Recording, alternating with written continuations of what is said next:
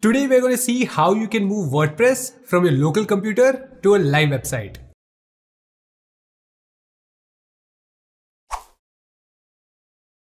Hi guys, I'm Shubhang from websitelearners.com. Now in a previous video, I showed you how you can install WordPress locally on your computer. Now if you want to move that local WordPress site to a live website, you can do that by following the steps that I show you in this video. So once you get your website live, anyone will be able to access it just by going to your website address. So make sure you watch this video till the end to learn how to do it.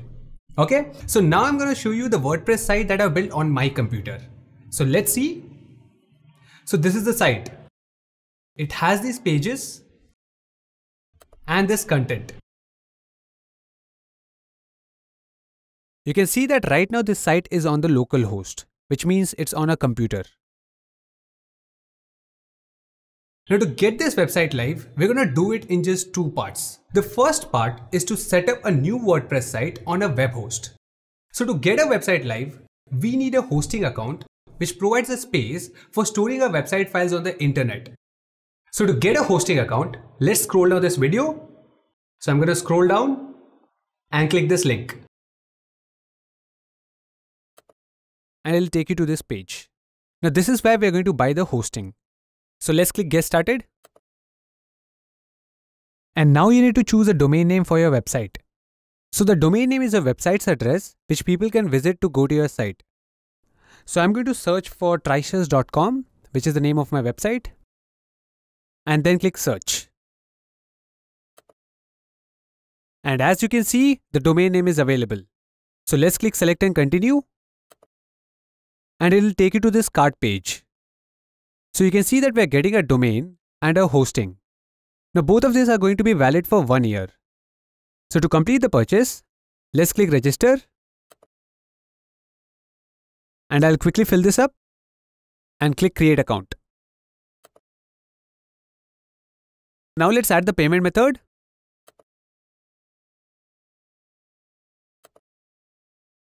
Enter the details and click next. Now click complete to make the payment.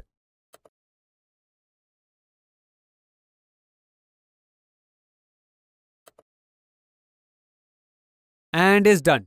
Okay, so now we have completed the payment and we have got a domain and hosting. Next, we need to install WordPress on a hosting account. So to install WordPress, let's click add site and then click get started. Now just select a domain and click next. Then again click next. And now you need to enter a username and password for WordPress. You'll need this to log in into WordPress. So I'm going to enter my name and password and click install. Okay, so WordPress is installed. Now let's click get started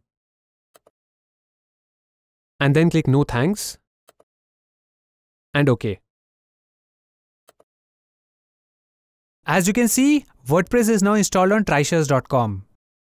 So once you install WordPress, your website will now be live. So let's check that.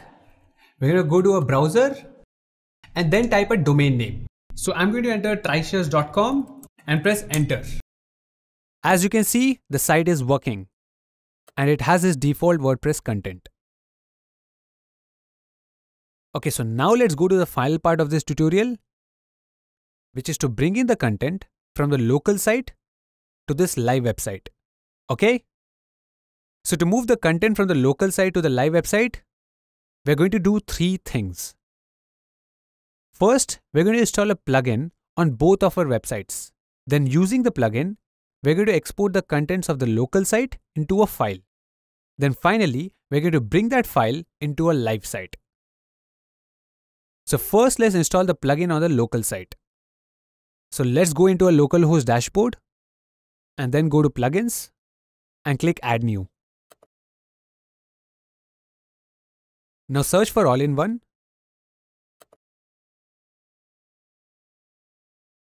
and then install this plugin. So let's click install and activate. Okay, so the plugin is installed on the local site. Next, we're going to install the same plugin on a live website. So let's go to the WordPress dashboard on trishaws.com and then go to plugins again. Click add new.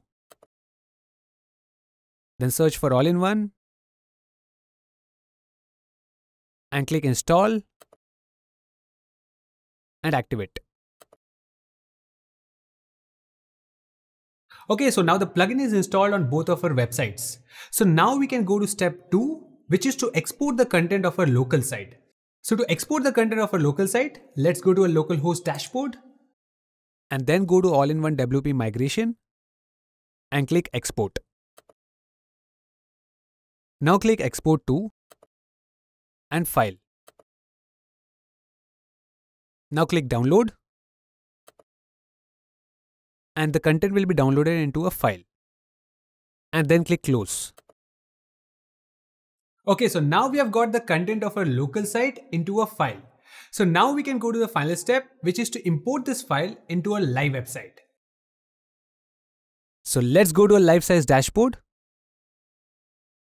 Then go to all-in-one WP migration and click import. Now click import from and click File. Now choose the file which you have downloaded and click Open. Now click Proceed to start the import. And then click Close. And it's done.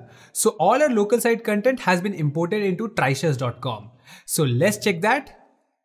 We'll go to trishaws.com and reload the page.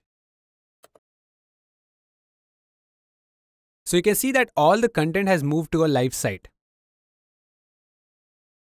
So this is how you can move your WordPress site from a computer to a live website. Now if you want to log into your WordPress site, just add slash login after your site's address and press enter. Now to log in into WordPress, you need to use a local host username and password. So just enter the login details of your local site and then click login. Okay, so now you can start making changes to your website and all the changes will appear on your live website. There you go. This is how you can move WordPress from a local computer to a live website. So now if you want to learn how to design your WordPress site, you can watch this video. We show you how you can build your website in just a few minutes. So that's it guys. Thanks for watching this video. If you like it, just hit the like button and also subscribe to Website Learners to watch more videos from us. I'll see you in the next video. Bye bye.